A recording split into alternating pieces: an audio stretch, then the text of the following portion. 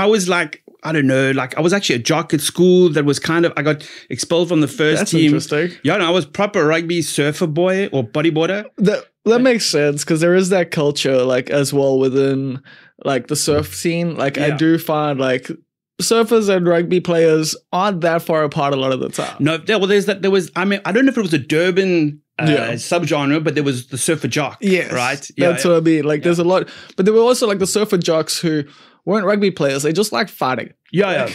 there was that. Uh, I remember like when we used to sit at the beach, it was like, you know, North Beach versus like Dairy. And there would always be the odd like kerfuffle and Yeah. one would get fucked up and then everyone would go down the beach and smash, but nothing happened. Would come into it, and, Oh, like yeah, yeah. surf moms, bro. Oh, surf moms, yeah. I got stories about a graf mom. That was like weird when um, Opt 1 and 2 kill. I was Okay. like, I was uh, taking. That is, I'm Bilo boys. Yeah, yeah, exactly. And uh, they we had taken some LSD, and they um, I was like, I'm going home with this girl, and uh, you take my car home.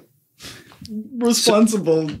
They take they they them a car. yeah they get home and they're like, let's go bombing, Yeah. Obviously. and they go to Pinetown, fucking Pinetown to some train yard, and then like anyway, long story short, I got like this call. It's like, hi, I'm the graf mom.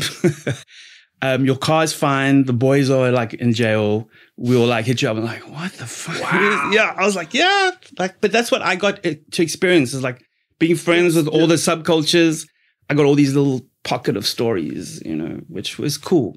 Well, that's what we were kind of talking about before we got on the marks. Was like the way I see you was like it was a bit of like a, a yes man. Yeah. Like you would just like if someone called you up and were like, "Hey, we need photos of this or that," or even someone was just like, "Hey, I'm doing this thing," and you would be like, "Cool, I'll come along." Like if if there was space, like you were like, "Sure, let's go do it." I just wanted to do cool things. And that was Yeah. the thing. Like, I wasn't amped. Like, I didn't have an ambition to be the best advertising photographer or the fashion or, or whatever. I just like, I wanted to shoot and I wanted to be, I think I wanted friends, really. Like, and I felt like everywhere I got to go, I was going to make maybe a friend, you know, and it was Oh, cool. That's so relatable. And, um, yeah, it was just cool. And I got to meet loads of KIF people. Like, I remember with Roger, like, it was cool. Roger was great. Like, Roger would- Young. Roger Young, yeah. Editor, Mahala, filmmaker, Yes.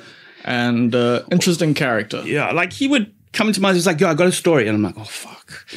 you know, Yeah, I'm like, okay, cool. Because he knows I'm going to go do it. Yeah, and he's also adventurous. Like Yeah. he would like that's one thing. Like I was never like a proper Hunter S. Thompson type because I wasn't going to go and like live the life some people are gonna go live. I was just gonna go to gigs and write about it. But this wasn't so much a gig, but this was like uh we went it was like 2013. He hadn't like kind of fallen off the world yet. He was still like trying to push like full on stories and Yeah, that's We- what I mean. Like, yeah, and so he- he, will want some investigative shit. Yes, yeah. Well, we went to Brixton to this house that he, he knew. Brixton's kind of like on the edge of the CBD there. Yeah. And um, uh, I'm like, what are we shooting? It's like, well, this guy, he he he's a musician, but he is uh, gro- he's he uh, sorry uh, cooks meth, and he's a transvestite, or he's transitioning to become like a female. And I was like, well, what are we going for? It's like, well, I just want to talk to him. And he's like, a mate.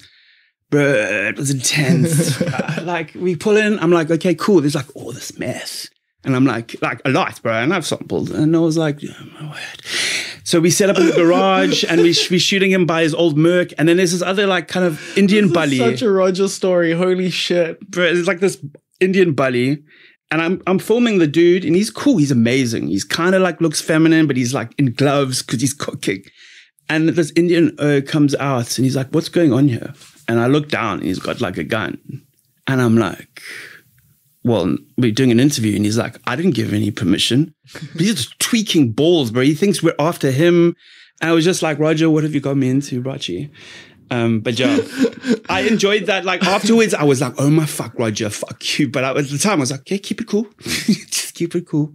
Roger didn't even fucking bat a sweat, but it's like he just thought it was funny. He's like, "Are you filming this? Did you get the guy with the gun?" I was like, "I got him, bro. Don't worry."